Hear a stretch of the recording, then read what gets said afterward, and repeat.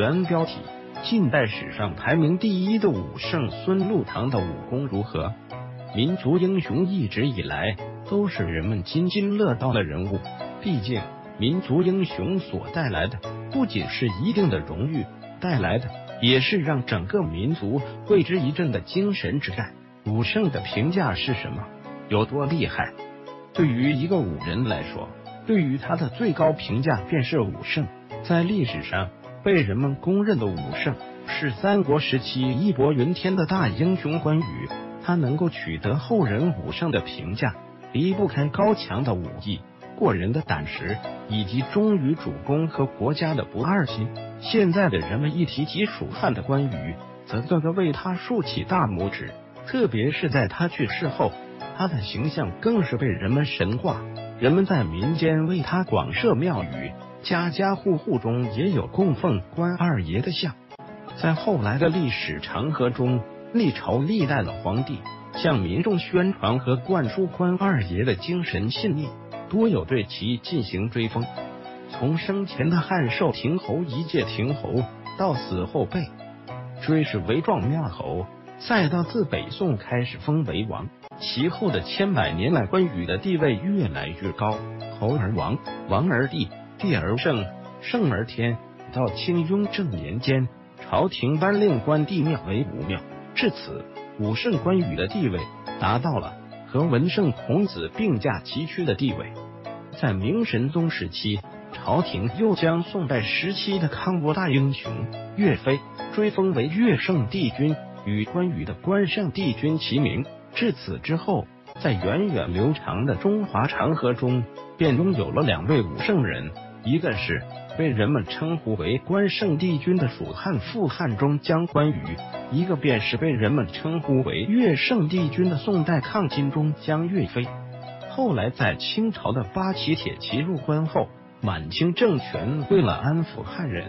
同时，也是为了借助武圣人来稳定统治，于是康熙便又大兴建设武庙，供奉关圣帝君关羽。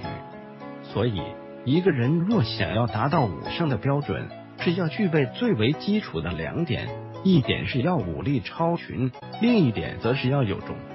义的高尚品德。展开全文，近代武圣孙禄堂的全诗人生。孙禄堂的童年是极其不幸运的。他在还是九岁的时候便没有了父亲，所以自小的时候便是由母亲一人拉扯长大。因为爱好拳术，所以他在还是少年的时候曾拜过一位江湖拳师学习。孙禄堂的天资聪慧，而且又勤学苦练，在经历了一段时间的学习后，取得了很大的进步，并为他以后的发展打下了坚实的基础。为了能够在以后过上富裕的生活，他在还是十一岁的时候便离开了家乡，到外地的一家毛笔店中做学徒。因为机缘巧合，他在十三岁的时候遇到了河北的一位著名拳师李奎元，后来又师从形意好手郭云深、八卦名师程廷华，从而练得了一身的好武艺。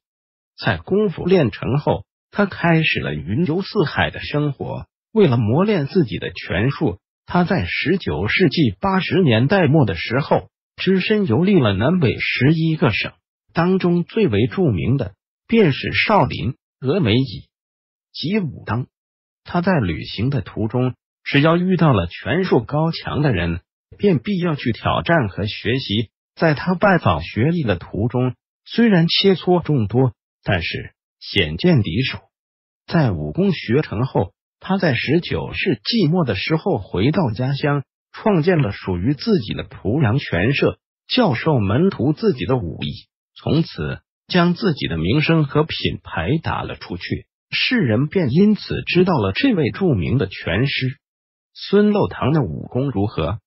关于孙禄堂的武功，因为在那个时候没有现代的录像带，没有所谓的格斗直播。所以很难的去客观看待此人的武术功底和武术造诣，更多的则是我们听别人说、听别人讲来的。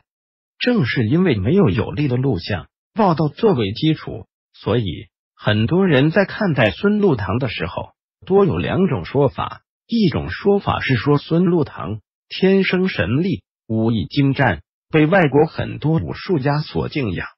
而另一种说法便是说孙禄堂的武术并没有传言的那么厉害，他只是花拳绣腿。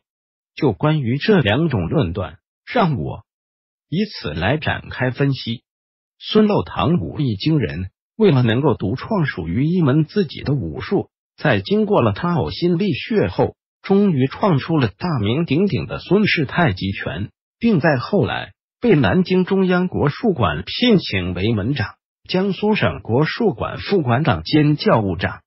后来因为中国国力衰退，民族危亡。国外侵略者也想从各个方面来打击我们，于是便纷纷派出他们国家顶尖的格斗家来挑战中国的拳师，从而想要打破中国武术的神话，从而想要给予中国人民当头棒喝。据说，当时第一个挑战他的外国格斗家是俄罗斯的彼得洛夫。孙传禄那时已经年过半百，可是为了民族的大义和威王。依旧接下了此次挑战，在与这位沙俄大力士的决斗比武中，只是几招便将彼得洛夫打翻在地。在他击败了沙俄的大力士后，孙禄堂从此名震海外，一炮而红。在孙禄堂已经是花甲之年的时候，日本人为了重创中国人的精神，于是便派出了所谓的日本天。皇亲命大武士板横义雄，根据史料记载，这位大武士个头一米八几，体重高达两百多斤，是一个不折不扣的柔道好手。可是，在和孙禄堂交手的过程中，这位号称大武士的板横义雄却被孙禄堂这位花甲老人多次打翻在地。后来，这位日本国手还想要以两万元的价格求孙禄堂教授武艺。但是被其断然拒绝。而在其古稀之年的时候，他又接受了五位日本好手的联合挑战，孙禄堂也是将他们一一打败。正是如此，他在武林中除了有武圣的称呼外，也被人们称呼为虎头少保、天下第一手。孙禄堂的记录有待考究，就俄国大力士彼得洛夫。以及所谓日本天皇亲命的国手板横义雄，他们的身份是有待考究的。虽然在一些搜索引擎中确实能够查到板横义雄，但是此人的身份却很是扑朔迷离。尽管在搜索引擎的资料上描述他为柔道好手，可在